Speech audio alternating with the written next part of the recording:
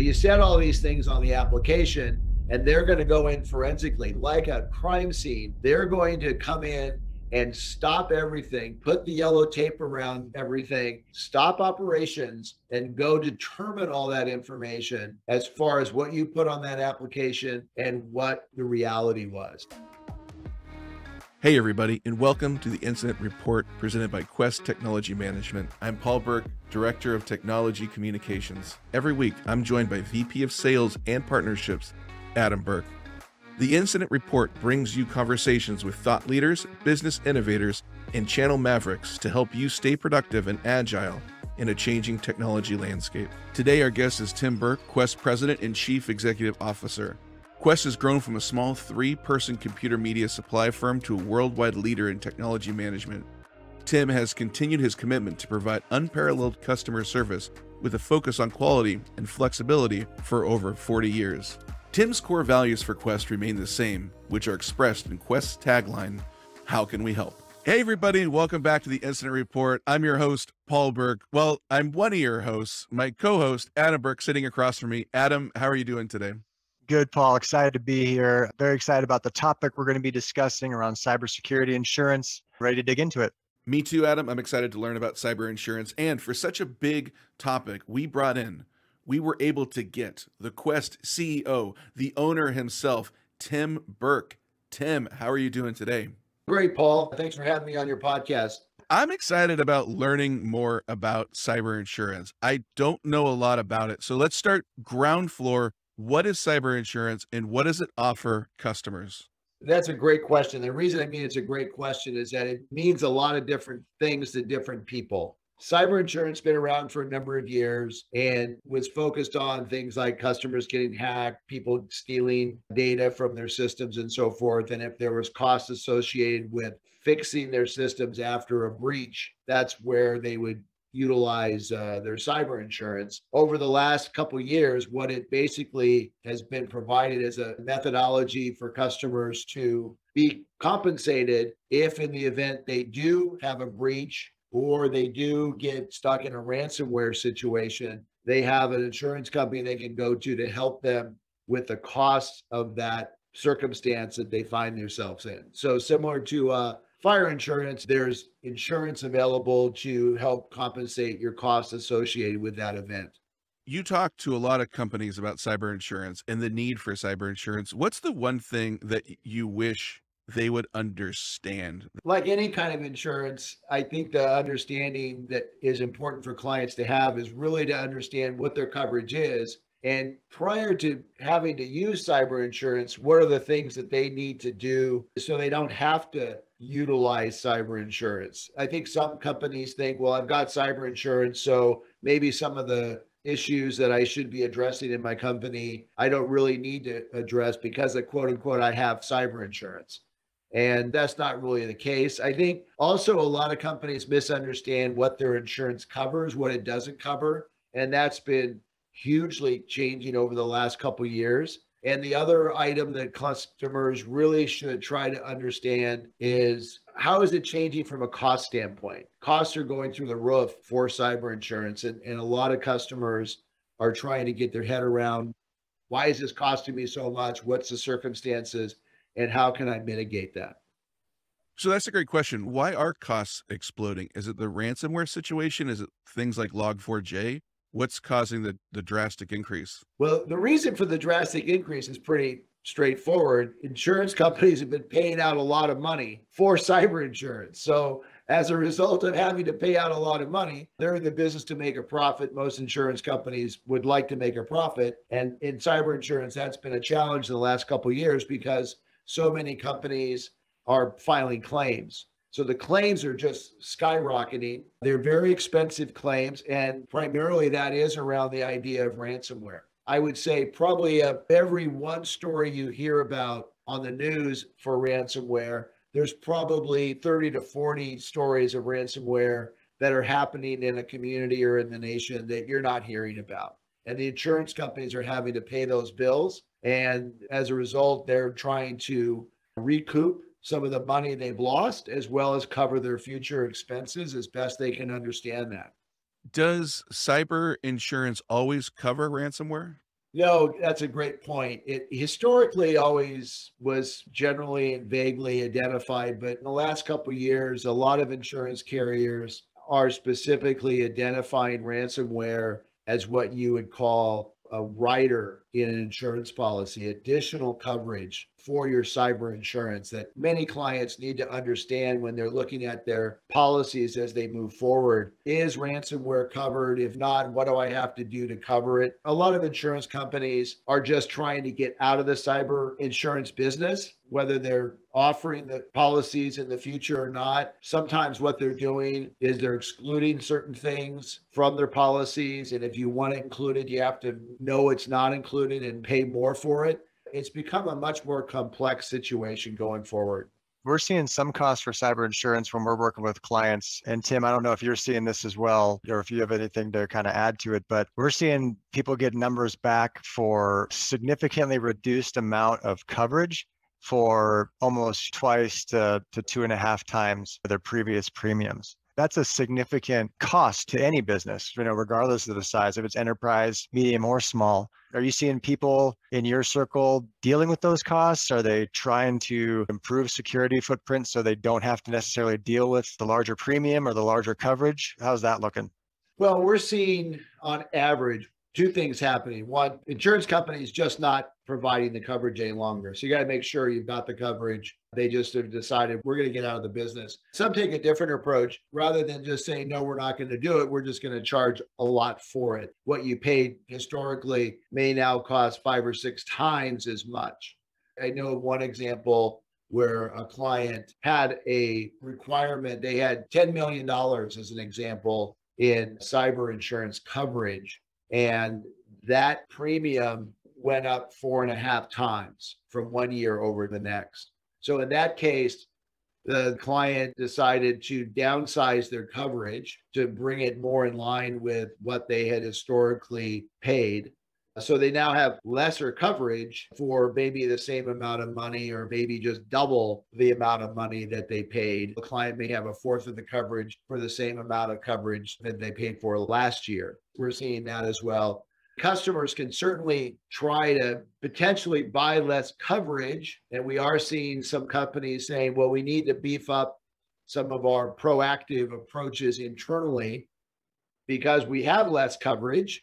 We just need to make sure we don't have to use it. That's certainly a, something that's a, a good approach. We're also seeing a lot of insurance companies. I'll give you some examples. Maybe a year ago, two years ago, the insurance, the cyber insurance application. So every year in the insurance business in cyber insurance, you have to fill out this application.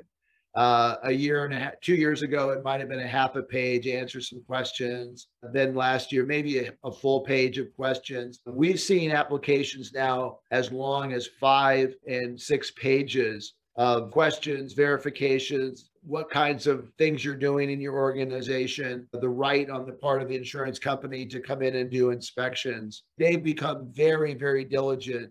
They have lost a lot of money in cyber insurance over the last couple years and are trying to stem that flow. So you mentioned that they have to submit a five-page document. Do the insurance companies come in and audit before issuing the insurance personally i haven't i haven't seen that i have heard where we've gotten on calls with insurance companies where they've asked questions of clients about different capabilities that the clients put in place i haven't seen anybody come in and do a specific audit of those they retain the right to do that at some point in time as they do in any kind of insurance actually if you have fire insurance for your business or liability insurance I know us as a business, we have a carrier and, and they bring by a safety people to, to look at how we run our business and so forth. So they certainly have the right to do that. Some of the questions and requirements that customers are being faced with, they're they're just not doing. Now they're having to look at all these capabilities and figure out how they can make them happen, which is an additional cost to the, the client as well as the increased cost of the insurance. Are there numerous options in the cyber insurance space, or is it limited to just a handful of providers? There's fewer and fewer players. What you are seeing for customers who had maybe smaller revenues and so forth, historically, insurance had been sold in what was referred to as a all-inclusive package which covered a lot of different things for their business. And cyber may have been a part of that all inclusive package. So historically, they bought it over the years and it, it had cyber, it had fire, it had liability. It was all packaged together. Now that's changed. A lot of those packages don't have it any longer. So people need to really understand whether they continue to have cyber or don't have cyber as part of their package policy. And if they don't, the number of cyber insurers is really reduced over the last couple years, people who are willing to carry it. If you do get it, it's becoming much more expensive. And as I said, the application process has become much more onerous. I feel like this is a game of 20 questions with Tim Burke. Are there rates that are different for companies who have in house IT versus outsourced? Actually, we've not really figured out what drives rates. It's not as clear cut as in house outsourced. It typically, what we think is occurring is that it's being based on the industry that you're in. Possibly, we're thinking it's this revenue size that you are as a client for that insurance company. And they're basing some pricing on some logarithm that they've established. I don't really believe that even the application process is necessarily, though it's grown to four or five pages. I don't know if that's really impacting the answers you put on that application other than the revenue size and, and so forth. They are specifying in that application process that there's some specific requirements and they're asking specific questions about certain things that you have available in your security systems. Whether or not you answer that a certain way, if that's impacting your pricing for your policy, we haven't been able necessarily to determine if that's a factor. How do companies know if they're compliant with their current cyber insurance demands? The application is really the starting point. So that application is here's all the things you need to be doing, and you need to tell us, yes, you're doing them. So you're backed up, you have multi factor authentication. How do you manage your firewalls? A lot of information like that. Again, I don't think that's necessarily impacting your uh, pricing. It could be, but we're not clear at this point exactly what people are getting charged and how they're getting charged, how that determination is really being derived at this point in time. I, I assume if you told them, no, we're not doing multi factor authentication, no, we're not doing backups, no, we're not doing firewall management, firewall monitoring, and all the things that that application is talking about. My thought would be is you're probably just not going to get insurance. They're just going to decline. It's not like, oh, okay, you're not doing anything that needs to be done. So here's your rate. I, I'm just thinking you're going to get declined. One area of concern when you're filling those, you know, it used to be one page, now it's, you know, five, six, 12. When you're filling those things out, one of the concerns I think, like with any insurance, is the accuracy of what you're filling out in the event there is an event that needs to be validated and accurate. Because if it's not, that gives the insurance provider the ability to pivot what you thought you'd get back from an interruption or from a, a liability standpoint could be significantly reduced based on hey, you know, we said you you said you had logging enabled. You said you had these backups in place. You said you had multi-factor authentication for your users, but it looks like according to XYZ, you only had that enabled for half your people. I mean, that could significantly impact what the coverage is and what it actually turns out to be after the adjusters take a look at things. Yeah, that's correct. One of the things that insurance companies are really focused on these days, which is something businesses really need to understand too. If you're going to file a claim, they're going to stop everything in its tracks as far as you getting back operational in business. And they're going to show up there with their forensic people to understand exactly what happened. They're going to find out whether you really had immutable storage, whether you really had backups, whether you really had multi factor authentication. Did you have endpoint protection that you said on the application you had? What's called next gen endpoint protection. You said all these things on the application, and they're going to go in forensically, like a crime scene. They're going to come in and stop everything, put the yellow tape around everything, stop operations, and go determine all that information as far as what you put on that application and what the reality was. And then, as part of that forensic, try to understand well, what happened here? Someone opened a bad email. Well, you said you had email protection of some sort to catch that stuff. You had endpoint protection. Why did that not work? The key there is your company in this forensic process may be shut down for as long as a week to two weeks as this forensic process goes on. And they're not going to let you start running things again until they have defined what the circumstances are. That's something a lot of business owners aren't necessarily thinking about as they acquire cyber insurance. But the reality is that's radically changed these days as far as how they're going to enter into those circumstances. I'm sure we've experienced that where we get involved in a potentially helping someone who comes to us in the middle of an incident and they kind of have to make a decision. Do you recover and get the business back operational? Or are you putting the crime scene tape up and locking everything down? That's a business decision that I'm sure we've been a part of a few times. Yeah, we have. And again, that is a business decision, and, and their insurance companies become the folks that are calling those shots oftentimes. And if you're going to want to collect on your cyber insurance, you're going to probably, with your attorneys, uh, with your IT organizations and so forth, have to work with the insurance companies to understand what their processes are and how forensically they need to do what they need to do, because that is a big issue today. And one thing that's not really talked about in the idea of cyber insurance is in the idea of disaster recovery. So, disaster recovery, we always think of fires and floods and things like that. And how do I recover if I have to move somewhere else and, and so forth? And we all hope those things don't happen. But the same holds true in cyber. And cyber events, and specifically with an insurance company who needs to come in and close down the operation for a week to two weeks while they forensically figure out things. That's something that you need to really factor in from a DR standpoint and from a disaster recovery and truly define a disaster recovery plan for a cyber event. And most companies don't typically have that. And the insurance company, they're not really asking about it because their idea is if you're going to make a claim, we're shutting you down and we're going to do forensics. And as soon as we get the forensics figured out, you can start figuring out how to bring your company back operational. And Tim, I'm curious, and I'm sure the audience is curious as well. How does a business plan for ransomware disaster recovery situations? If it does happen, what are key things that businesses should have in place in regards to business continuity while undergoing a forensic investigation? Yeah, good question from a from a DR standpoint. Not something that's talked about a lot in the DR space at this point in time. It's starting to be talked about more.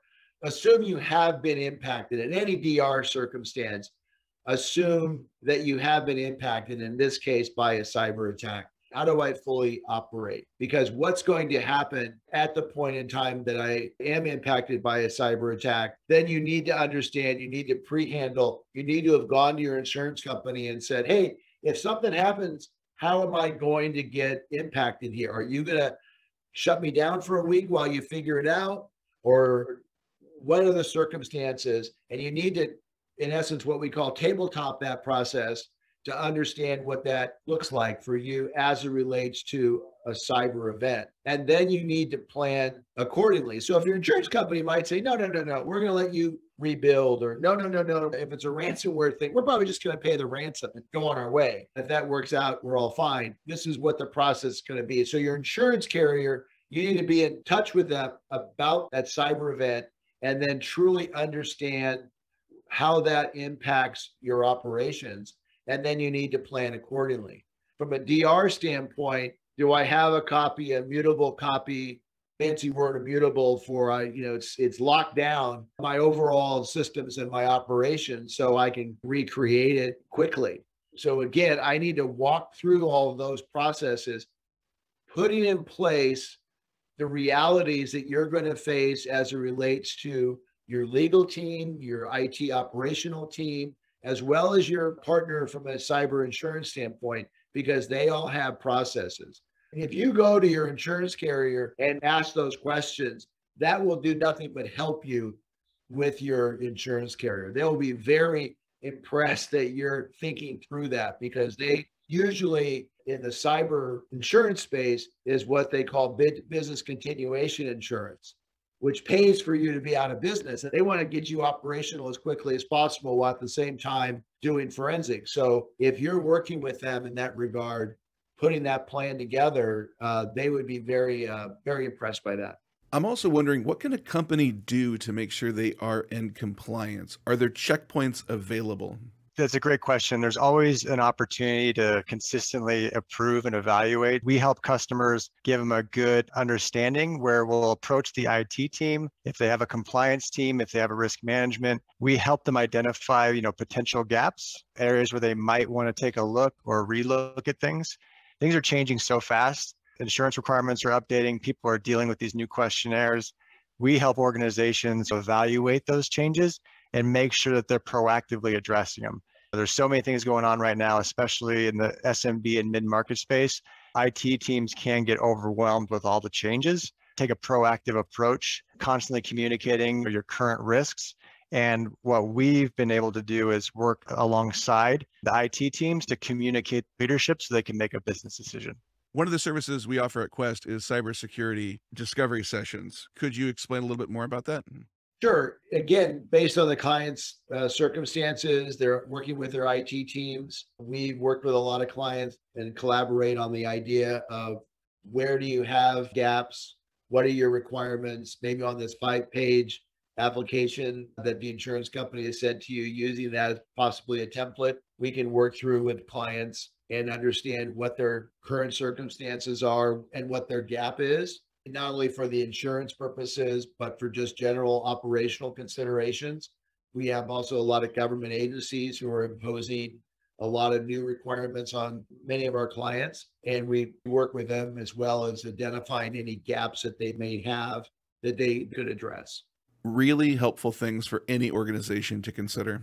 Again, thank you so much, Tim, for joining us today and sharing a little bit more about cyber insurance. We really appreciate it. Thanks, Paul. Very much enjoyed it. Thanks, Adam. Yeah, thanks, everyone. That was a great conversation. Thanks so much for listening.